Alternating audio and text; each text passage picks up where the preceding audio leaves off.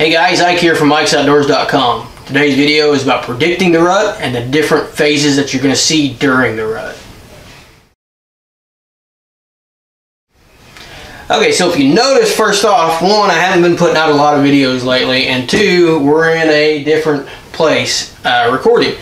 The reason that I haven't put out a lot of videos in for this entire year is, is, is due to two factors.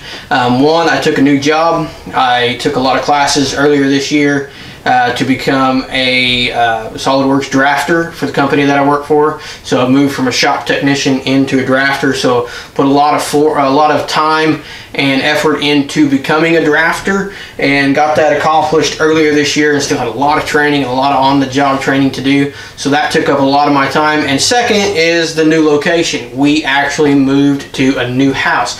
So we moved to a much larger house and this location for filming is temporary. So uh, in the comments below, you know, the lighting in the background and all that good stuff like that, it's going to completely change. Um, I wanted to get this video out because I haven't done a video for a while and I've been thinking about this one for a while and talking specifically about the rut to try and get this out before the rut. So we're going to change the background, we're going to change the lighting. I literally have no tripod right now. I've got this screwed on a on a tree mount and hooked to a, a, uh, a 4x4 post in the basement here in the man cave. I've got my wife's LED light that goes in her greenhouse using it as a uh, as a light versus our big umbrella lights that we normally have. So production quality is going to go up once we get established here, get moved in, get lighting set up, get a good filming area set up and things like that. So it'll probably be right here, it'll probably just be against this wall over here and hopefully have better lighting at that time. So back to the heart of this video and what we're talking about. Um, we're talking about the rut. And this is a very, very general guide to this. So if I get this wrong or it's off by a few days, animals are unpredictable. It just is not a hard and fast science. Here's what's going to happen on this day, and here's what's going to happen on this day, and here's what's going to happen on this day. But there is a way of predicting when the peak of the rut is going to happen. The peak of the rut is generally going to be the second full moon after the fall equinox. So find out what day the fall equinox is, next full moon, second full moon, that's when the breeding phase of the rut is going to happen. So this year it happens to be November 12th. So the peak phase of the rut is going to last 10 to 12 days. So from November 12th to the 22nd, 24th, 20 through 24th is going to be the peak of the rut. That's going to be when you're going to see the breeding uh, happen. We're going to talk about the phases of the rut later in the video, so put a pin in that for right now. Um, what we're really focused on right now is the timing of the rut. So second full moon after the fall equinox is when the breeding period of the rut is going to begin. If you go back a week, that's when your chasing phase of the rut is going to begin. That's when you're really going to see the bucks chasing does. The bucks are cruising all day long and things like that. If you go back a week before that, that's when the initial phases of the rut are actually going to start. That's phase one. That's when the bucks are starting to kind of think about it and the does are not receptive yet. So full moon is uh, the peak of the rut and when the breeding of the rut is really going to happen. One week before is your pre-rut chasing period and one week before that is your initial phase one of the rut when the bucks are starting to think about it. So after the full moon, the full moon's gonna, uh, the rut's gonna last for about 10 to 12 days. Um, so you'll have a 10 to, 10 to 12 day period there where things are gonna be really, really crazy. The first day of the full moon for 10 to 12 days on. Once that period is over, you're going into the post-rut period of this. That's gonna last another, you know, week, 10 days, and that's really the mop-up phase of the entire rut. That's when the bucks are cruising for those one or two does that are still left unbred. Now, we again, we're going to talk about the real phases and what to expect out of each one here in just a moment. And then after that, it, the, that's pretty much when the rut is done. So you're going to have a period there, like this year it goes up to December 1st. So you're going to have a period there from late October to early December where you're going to see all four phases of the rut take place. And during those times, that's when you're really going to see a lot of, you're going to see 99% of the rutting activity. You may see some later on, but after that you go into the the rut is over and the bucks will go back to their normal cycle if they're still alive and they'll start to really feed and replenish their bodies. So this year in Missouri, this is 2019 in Missouri, the we're going to go through each phase of the rut, when it's going to occur, and and what to expect during those phases of the rut.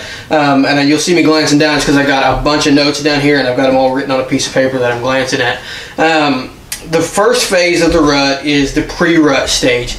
That is when the bucks are really starting to think about it. The bucks are really starting to get, they're starting to get the kind of swelled necks. They're really, really they're not actively chasing anything yet because the does aren't really in, but the bucks are thinking about it and they're ready to go. They're ready to mate.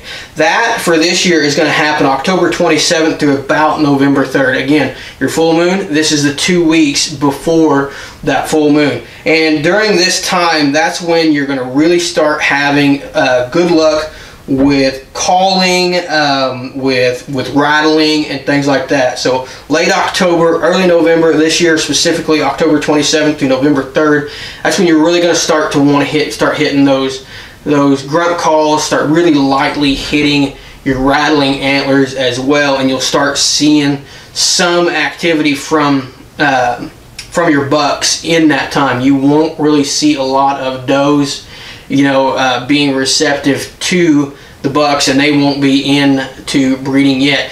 Now during this phase, I absolutely will not kill a doe. Some of you guys out there that are meat hunters, you know, that's up to you, but I do not kill does from late October to early December because you never know what is behind those does. If I want to kill a doe, I'll try to kill her, you know, in September, early October, or after the rut's over in you know mid to late December. So that's when I really try to focus on on my uh, doe harvest at that point because once the pre the pre rut starts, at any period a doe can come through and could actually have a buck behind her. But this phase of the rut, the does are not hot yet. They are not ready to breed, but the bucks are getting that way and they're really going to be receptive to your calling other grunt calls, you know, buck grunt calls, uh, doe and estrus calls are going to be good at this time, and rattling antlers are going to be good as well. Some scents are going to be effective, but probably not not super effective at this point. At this at this stage, I don't use a whole lot of doe and estrus,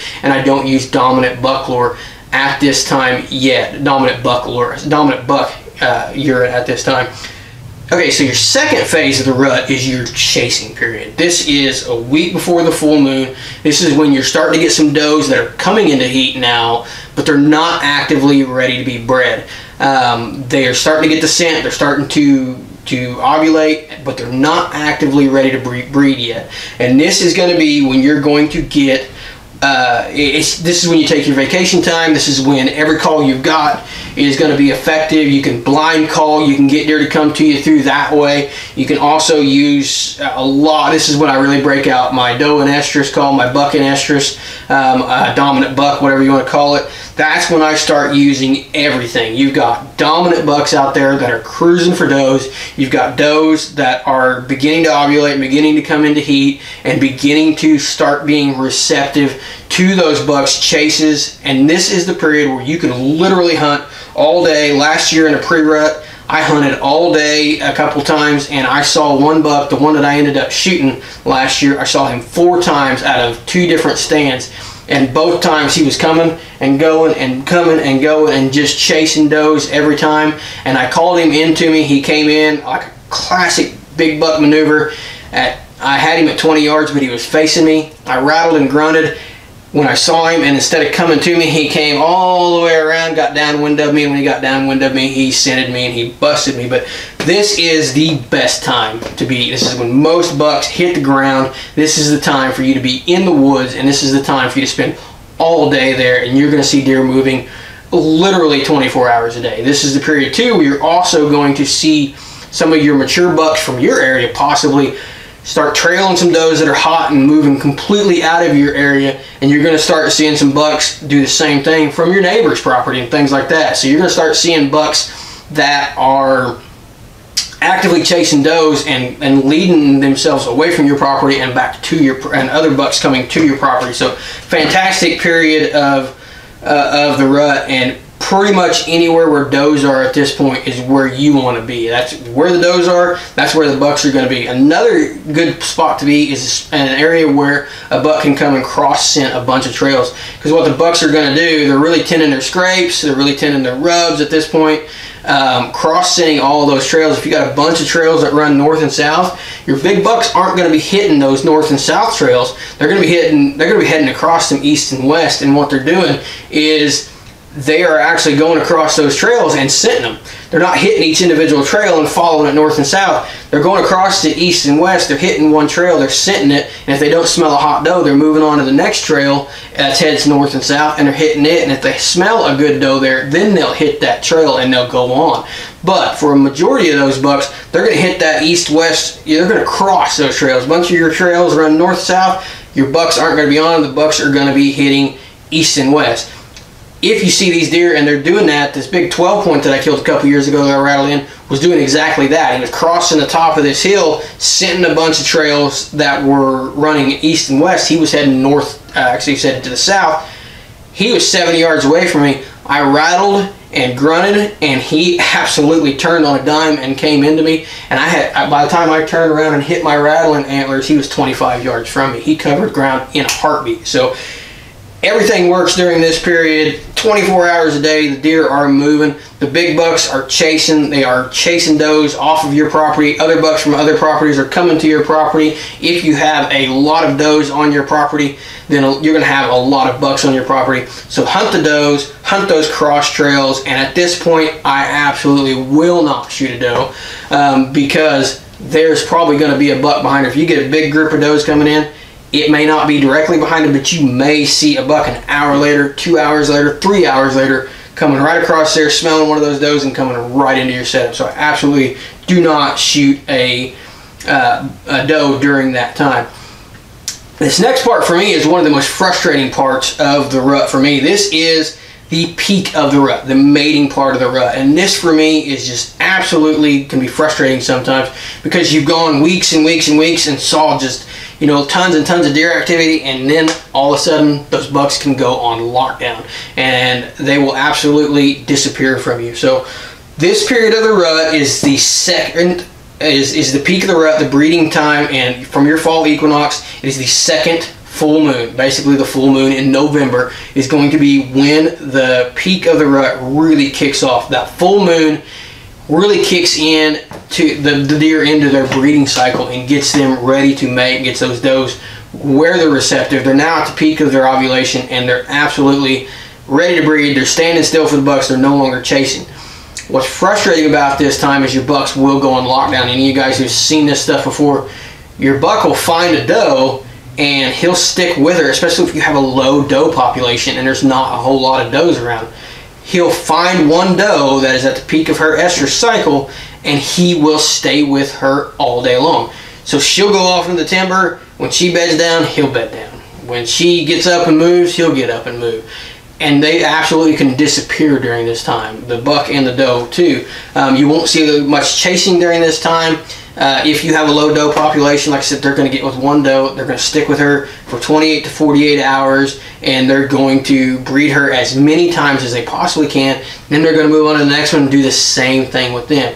Now, if you have a high doe population, you're still going to be seeing the same thing that you saw during the pre-rut or the, the chasing phase of the pre-rut you're going to see bucks coming in checking multiple does and trying to breed some of those does. The does are going to be more receptive. They're going to lead them off. They're going to they're going to breed, and then that buck is going to leave her and come back and try to get another doe.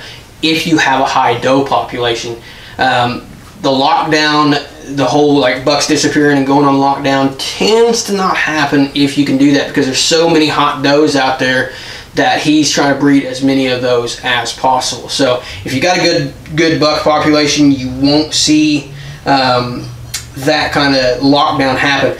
This is another period where scents work really, really well during this period. Um, calling, especially a doe and estrus, followed by a buck grunt, a tending grunt, works really well. Rattling works uh, somewhat in this period, but uh, a tending grunt or a, a doe and estrus call followed by the tending grunt. makes that buck think that someone over there is has found a hot doe and that buck's getting ready to breed her. And it'll get him you can blind call with this and it'll get him to turn around and come right to you. I've had a buck a few years ago. He was just cruising at the bottom of this hill and scent checking and i could not get him to pay attention to me. I hit the doe and estrus call and he kind of perked up i hit that doe and estrus call again and followed it by a tending grunt and he turned around came up the hill and would not present a shot to me he actually ended up uh, walking away from me but all i had on him at that time was just a front shot and i couldn't couldn't take that shot on him, but it uh, it worked and it worked absolutely great. So that's what to expect during the peak of the rut. It can be a great period to hunt in, and it can also be a just super frustrating period to hunt in.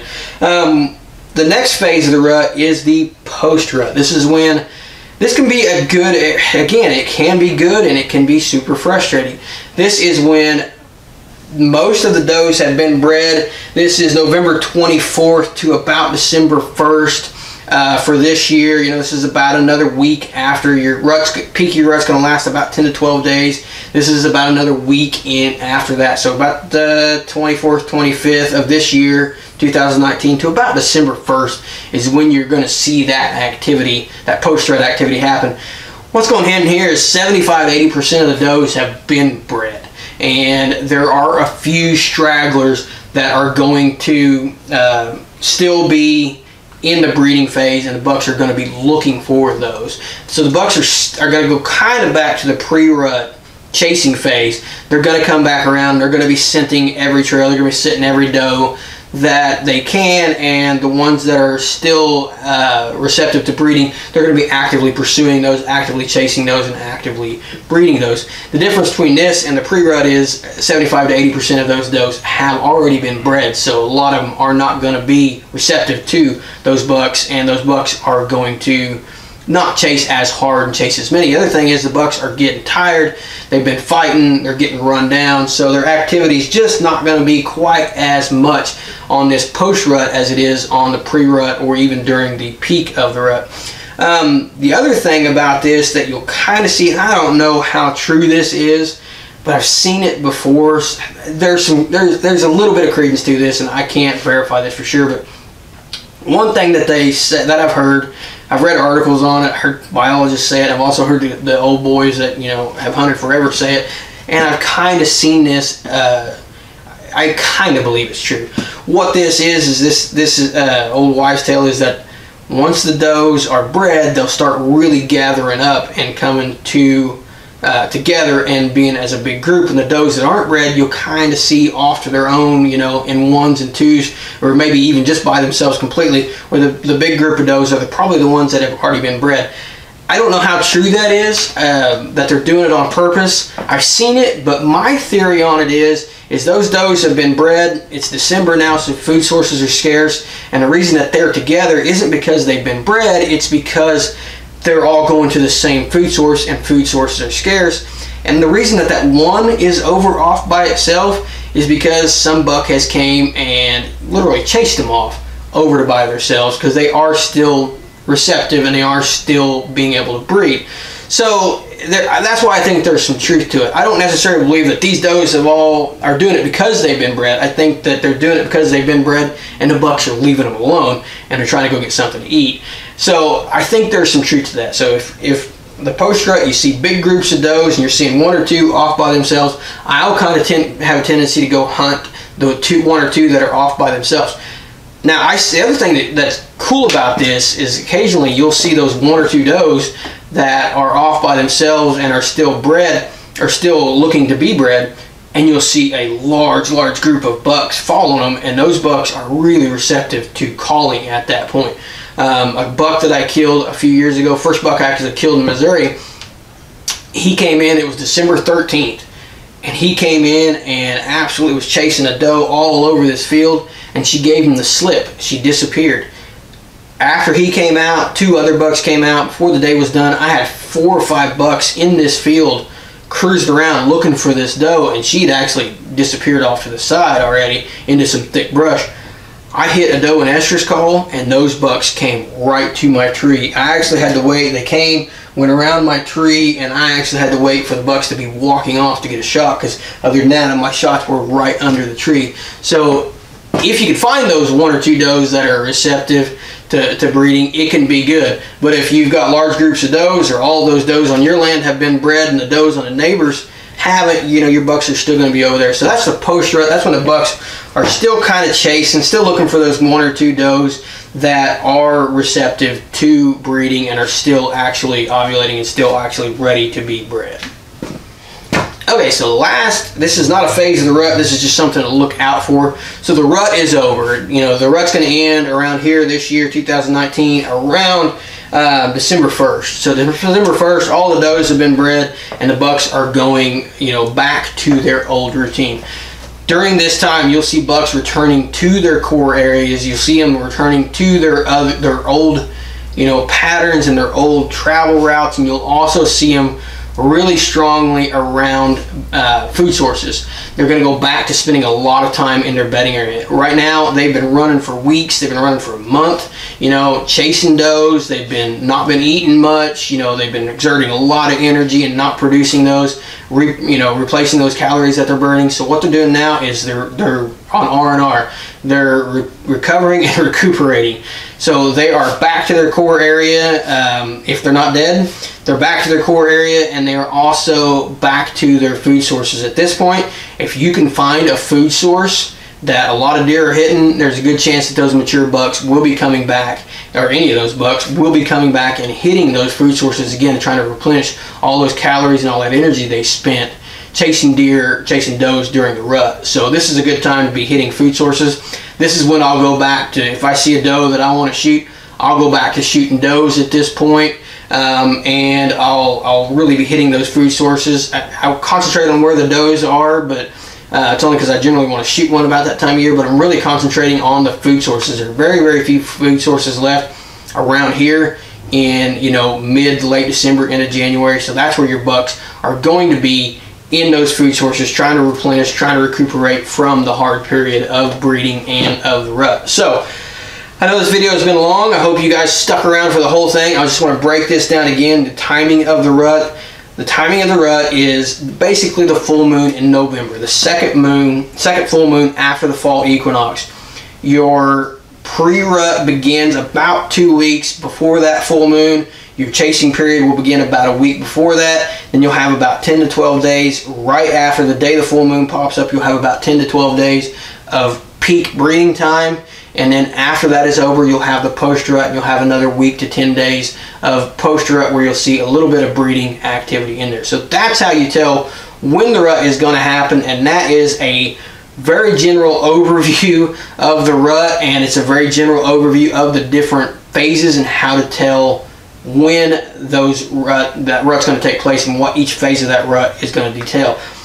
I plan my vacations around this theory and it has worked out for me year after year after year. Um, I wouldn't be making this video if I didn't believe that my theories were correct on this. So I hope that this helps you guys predict the rut. I hope it makes you helps you take better advantage of your vacation time because that's really what I use it for is to, to tell when I'm going to take my vacation in the fall. So hope this helped you got helps you guys out. I'm hoping to start making more and more videos now that we're finally settled in here. We'll get a good area set up for filming down here in the man cave. I've got a nice man cave now. I've got a nice new big house. You went from a 900 square foot house to a 1600 square foot house with a three car garage outside and this full basement man cave to have. So we're going to start churning out some videos again and we're going to start getting back to the old schedule on Ike's Outdoors where we're doing a video about every two to three weeks hopefully. So appreciate you guys watching this. Appreciate you guys that stuck around, you know, for me in this, this brief hiatus that I've taken. Hope you guys understand and we'll get right back to it. If you want to, follow us on Facebook, Instagram. We're on both of those under Ike's Outdoors, and I'm active on those even when I'm not making videos. So if you want to follow us on there, we would appreciate it. And as always, please like, subscribe, and ring that bell so you know when we do make videos. I got a bug chasing after me. So appreciate you guys watching and hope this video helps you go out and kill you a giant.